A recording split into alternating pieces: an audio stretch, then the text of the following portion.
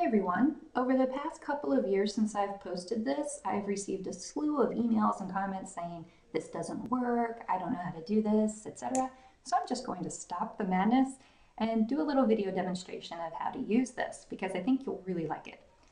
Alright, so the first thing I'll need to do, first of all, I'll apologize for all of the background noise. There are people working out in the hallway.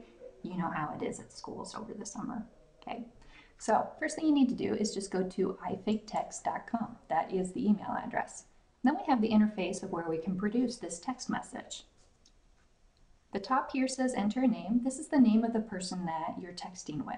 So if we look at my example,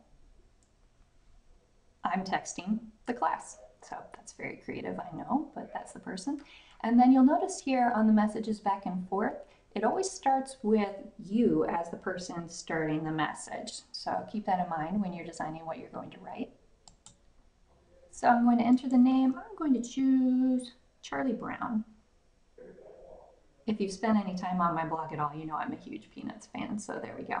Then choose your carrier, so it'll format according to that carrier's look. And down here where is where we enter the actual text message. Notice it does say it has to be formatted as below.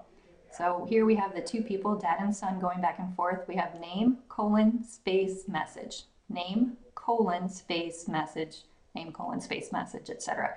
And you need to format it that way or it will reject it. So just keep that in mind. And also, again, I'll remind you that you are the person that starts the message.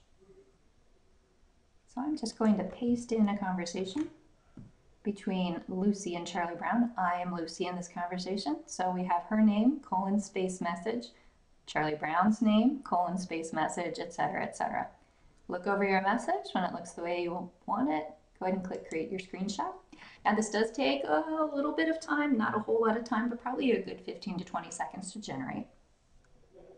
Okay, and here is our text message. So notice we have the name of the person we're texting, our first message, their message, our message, etc.